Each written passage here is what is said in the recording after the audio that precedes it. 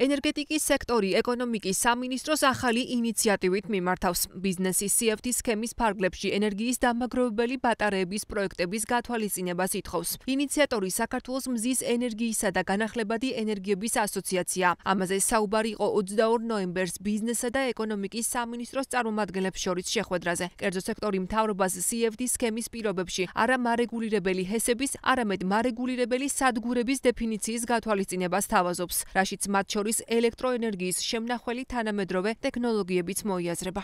ეს შეიძლება კონდეს რაღაცა კაშხალივით, ანუ მარეგულირებელი ავზივით მოწყობილი.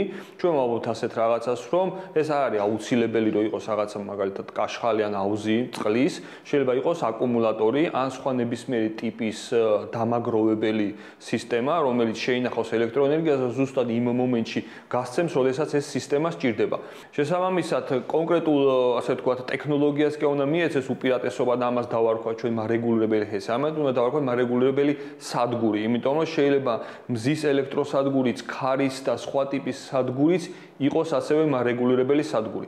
ინიციატივა გულისხმობს ზუსტად ამას, რომ ეს არ იყოს კონკრეტულად ჰესზე მიბმული. ენერგიის დამაგროვებელი ბატარეების და ჰიდრომააკუმულირებელი სადგურების მშენებლობა მთავრობის ელექტროსისტემის განვითარების 10 წლიანი სტრატეგიის ნაწილიცა. თუმცა ამ ტიპის ელექტროენერგიის დამაგროვებელი სისტემების გამოყენების გამოცდილება ჯერ ჩვენს ქვეყანას არ აქვს. როგორც გრედას აღმასრულებელი დირექტორი განმარტავს, ბიზნეს აქვს სურვილი ამ ტიპის პროექტებით შევიდეს აუქციონებში და ქვეყანას კონდეს არამხოლოდ რეზერვუარიანი მარეგულირებელი ჰესები, არამედ სისტემის მდგრადობისთვის არსებობდეს სხვა დამხმარე მექანიზმებიც. ამ ეტაპზე აზიის განვითარების ბანკი აწარმოებს ძალიან მნიშვნელოვან კვლევას და ეს კვლევა ეხება იმას თუ რამდენად შეგვიძლია ქვეყანას კანონმდებლობის დონეზე დავარეგულიროთ ეს საკითხი.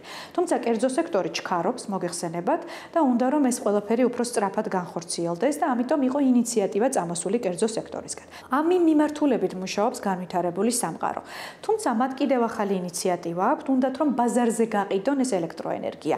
ჩვენ ჯერ შეიძლება ითქვას ერთი ნაბიჯი ცოტა უკან ვართ, მაგრამ სანამ ბაზარი შეიძლება ითქვას გაიხსნება, მანამდე არის სურვილი იმისა, რომ CFD აუქციონში ჩაერთონ ამ ტიპის პროექტები.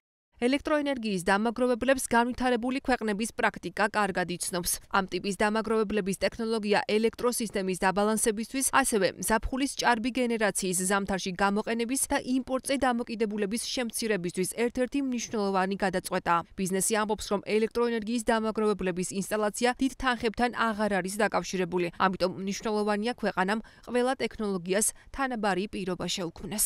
ესეც არ არ გვაქვს საშუალება, რომ ყველა ეს ნალექი დავაგროვოთ რეზერვუარში.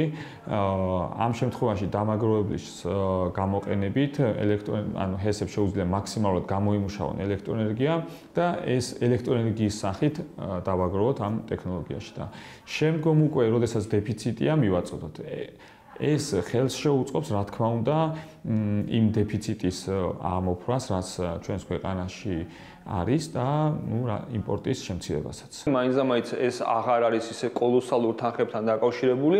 აქედან გამომდინარე, ჩვენ ასე ვთქვათ, ვწდიდით ამას, მაგალითად თუ პირობითად გამოცხადება 100 მეგავატის სიმძლავრის მარეგულირებელი სადგურები, ზე მოთხოვნა იქნება.